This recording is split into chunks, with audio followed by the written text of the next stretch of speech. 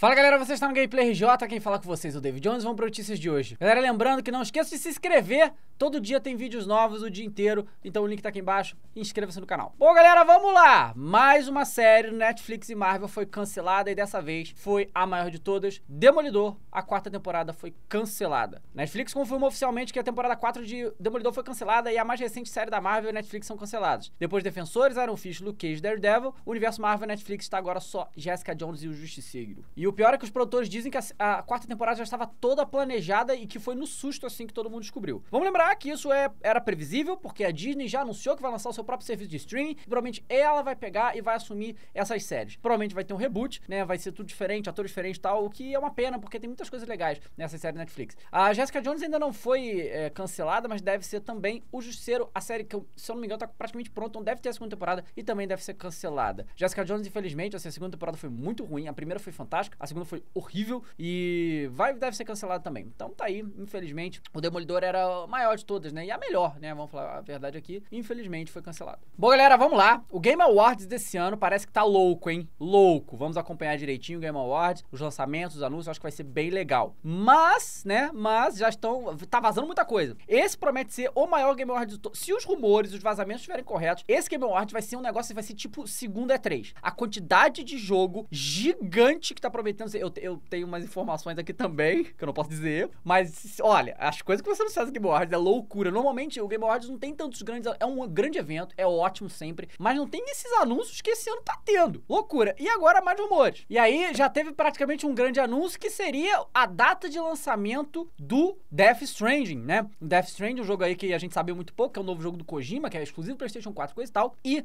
o Walmart Canadá publicou já no site o jogo e a data de lançamento que seria junho de 2019. Olha que loucura. Não só isso, mas quando contestar no Twitter, o Walmart Canadá, que já vazou um monte de coisa há um tempo atrás, o Twitter oficial do Walmart Canadá respondeu falando: então, cara, é isso aí mesmo, esse jogo vai ser mandado em junho. Meio que vazou máximo a data. E aí o Geoff Keighley, que é o cara, é o idealizador do Game Awards e o apresentador todos esses anos, ele comentou assim: hoje a gente começa a fazer a transição do Game Awards, né? Do, da, do, dos novos anúncios. Tem um monte de jogos que nós não vamos falar até a gente mostrar. E aí ele botou entre parênteses: todos os olhos estão em você, Walmart Canadá. Mas a gente tem várias coisas para anunciar na semana. Ou seja, ele meio que confirmou isso. Então, em teoria, né, o Death Stranding em junho de 2019 e será mostrado no Game Awards. Vamos ver. Mais coisas também. A BioWare fala sobre Dragon Age, que é o grande RPG que eles têm, né, aclamado por todos aí. Eu nunca joguei nenhum, mas sempre é muito bem falado, um jogo muito grande. Falou que vai ter grandes anúncios agora em dezembro. Obviamente, obviamente não, mas provavelmente vai ser durante o Game Awards. Eles falam aqui, ó. Se vocês estão acompanhando as publicações, ou as minhas, ou de Mark Darra no Twitter, vocês sabem que estamos trabalhando em um projeto secreto Dragon Age. Dragon Age é uma franquia incrivelmente importante no nosso estúdio, estamos ansiosos para dar continuidade ao legado. Esperem por novidades em dezembro, mas não vou dizer aonde.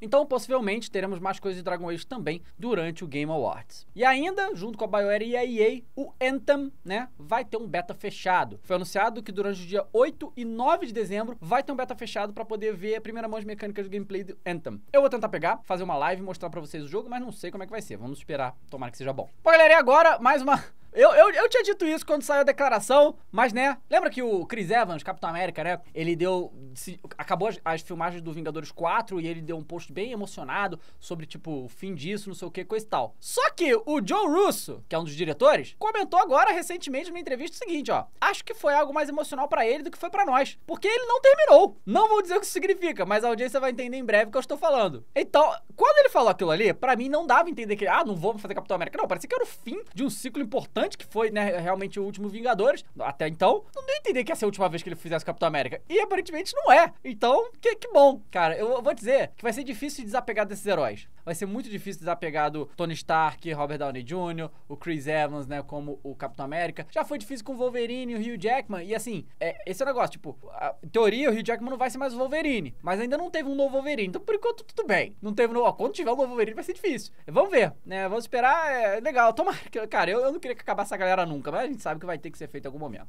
Ok, pra finalizar, Comic Con Experience está chegando semana que vem e foi anunciado pela Galápagos Jogos, que faz jogos tabuleiro, que eles vão trazer um jogo novo do Attack on Titan e vão trazer um gigante, um titã, né, de 3 metros de altura que você vai poder escalar durante a CCXP. Certamente eu vou lá escalar o Titã. O stand dele está nessa imagem que vocês estão vendo aí. Espero que vocês curtam, tá bem legal. Bom, galera, finalizar por aqui. Não esqueçam de se inscrever. Vídeos novos todos os dias em vários horários. Clica no gostei, comenta. Até a próxima com mais um jogo, mais um vídeo. Valeu!